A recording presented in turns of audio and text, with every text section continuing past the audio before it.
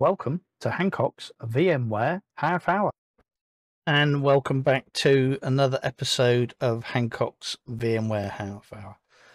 Um, well, today in this evening's video, um, we're just going to put the, the VMware Workstation 17.6.2 and um, on hold on the back burner for the moment. And uh, we're also going to put uh, VMware vSphere Hypervisor on the uh, on the back burner as well.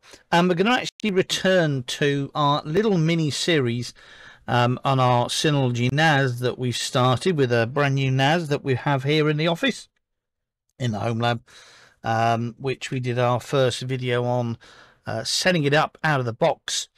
Um, and um, one of the things um, that immediately that you will notice when you connect to a Synology NAS is that you get these really annoying uh, your connection is not private because if you actually inspect the the certificate which has been provided with the NAS then you will see basically that it's a self-signed certificate provided by Synology. Anyway so we can fairly quickly uh, in this video um, resolve that issue. Not that it's a big issue, it's more cosmetic than anything and a pain in the ass uh, that you keep having to basically click uh, advanced and Chrome's going to keep nagging at you. So what I'm going to do, um, I'm going to show you in this uh, video how we can, and as you will see there, I've actually basically set up um, the Synology NAS with uh, Synology NAS's new MFA uh, rather than using a user ID and a password. Um, I think it's probably common knowledge by now after 11 years, uh, certainly I've been using them, um, that the uh, default username uh, has been admin on them for a long, long time. And I think that a number of uh, Synology NASs in home labs have been attacked by malware because everybody really knows that the default administrator name is admin. So now in the latest versions of the DSM 7.2, and I think for a long time, I think actually, certainly seven, I think, seven and later, um, they've been encouraging people not to use admin, and I think the admin account is now actually uh, disabled. And uh, you would have seen me create a new one called NAS-admin. Um, not that I was worried too much about um, the fact that people know that that is NAS-admin, because now um, with MFA that actually basically comes to Synology as using their application on my phone, um, then it's it's all now um, well protected as well as it can be. Anyway, so the first thing that we need to do is to click Control Panel and go to Security and select Certificate. And here we can click Add uh, to create a uh, new certificate. Um, or we can actually basically um, import certificate or get a certificate from Let's Encrypt, which certainly makes it a lot easier for people that are not familiar. Um, but here um, in our home lab, of course, we have our own um, Microsoft Active Directory Certificate Services server, our own CA. And um, I do like to put our own CA um, doesn't cost us anything. However, Let's Encrypt doesn't cost you anything anyway.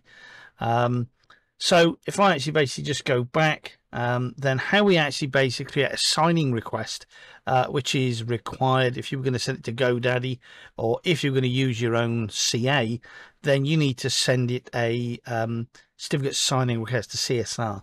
And we do that by selecting um, uh, certificate settings advanced and we actually basically create um, here where it says create signing request bracket CSR uh, we can actually basically just create our own CSR so I'm going to use a private key length of 2048 I'm going to give it a common name um, of so I'm going to make sure that the common name is the same as the FQDN so in this particular case uh, it's going to be uh, Cyrus NAS 4 dash Cyrus dash consultants.co.uk.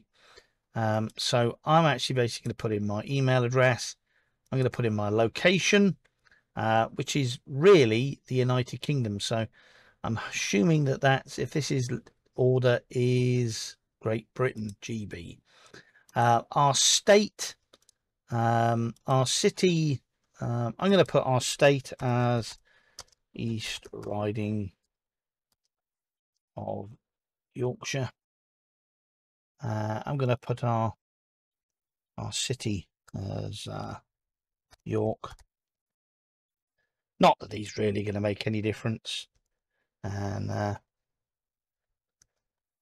Cyrus Computer Consultants Limited. You could put any old tosh in here, really, to be honest. It's not really going to make any difference to the certificate.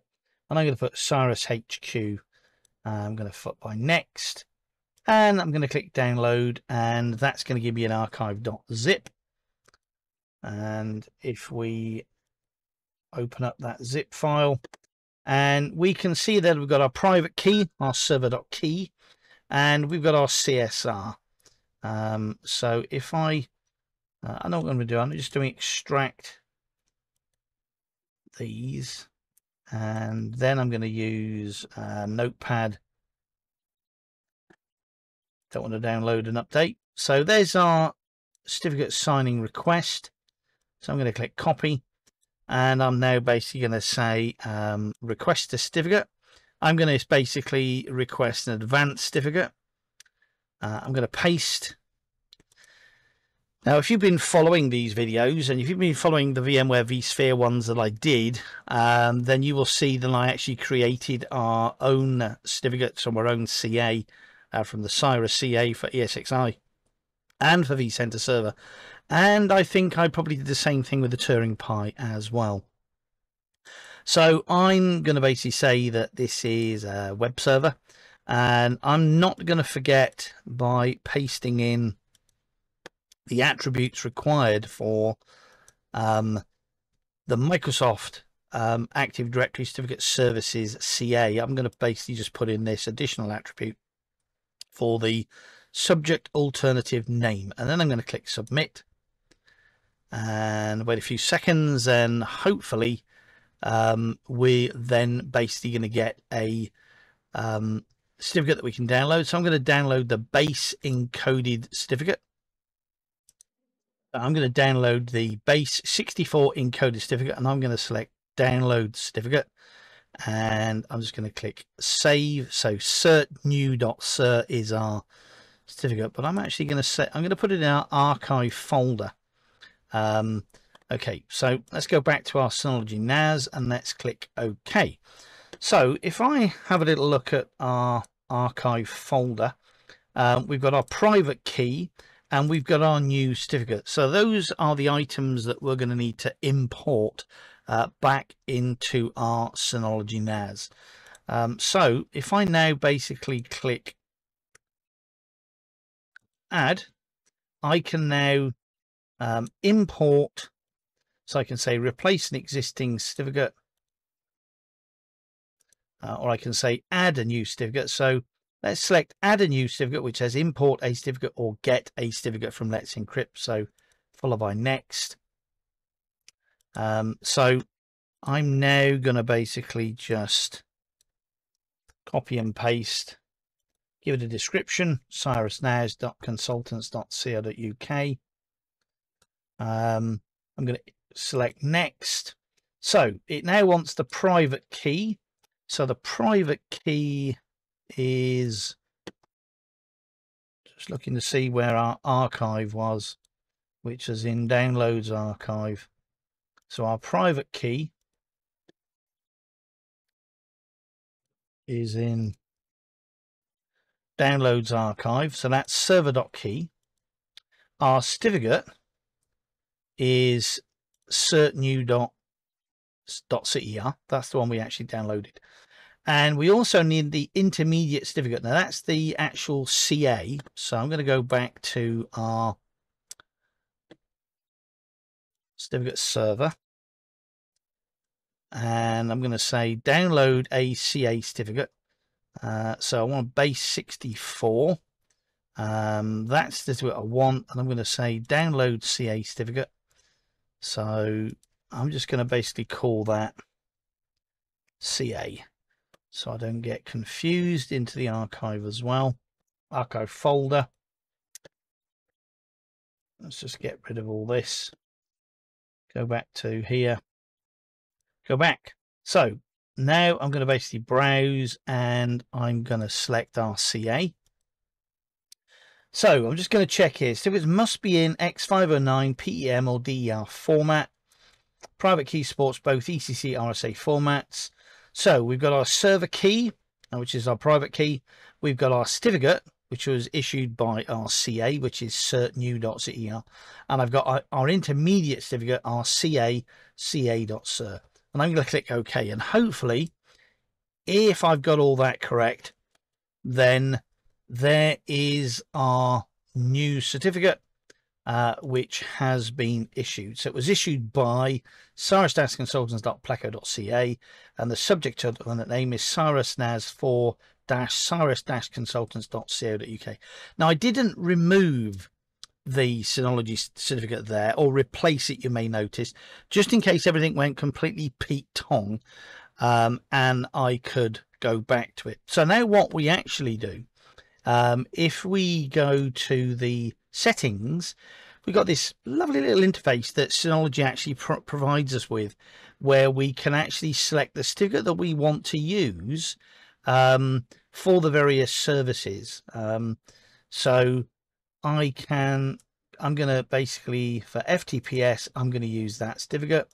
And I'm going to use that certificate. And for Synology Drive Server, I'm going to use that certificate. Storage console, I'm going to use that certificate. And the system default, I'm going to use that certificate as well. So I've not removed the self-signed certificate that Synology created for us. Uh, I've kept that just in case, and I'm going to click OK. Uh, okay, after the change, the corresponding services will briefly paused and then restarted. Are you want? Are you sure? Yes. So it's processing that, it's just rebooting, restarting all those webby services. Uh, that are using that um, certificate. And what we'll do, um, I will um, close this browser window and uh, we'll log on again and we'll check to see whether or not that the the certificate is working for us okay. In fact, actually, it actually did it for us. Um, it actually basically um, closed the control panel down and restarted and we've logged back in again now. Uh, but it's still saying not secure. So I'm just going to have a cheeky little look at the certificate this time. Um, the common name has changed to Cyrus 4 Cyrus Consultancy Organization name is all correct. Um, now, I have seen this before, and often it's to do with um, caching um, in in the browser. So if I just hit a, going to be a bit lazy here, and I'm just going to copy that.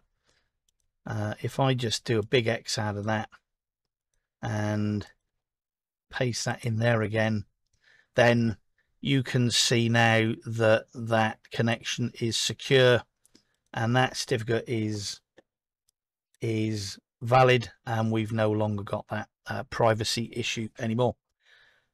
So that's it. Um, I told you it was going to be a really, really quick one, um, less than 15 minutes. Um, so we're going to build on these um, videos on this little mini series with our Synology NAS. Um, so again, um, we have, in this particular video, we've requested um, and created a certificate signing request. Uh, we've pasted that into our own CA here, uh, our Microsoft Active Directory Certificate Services server.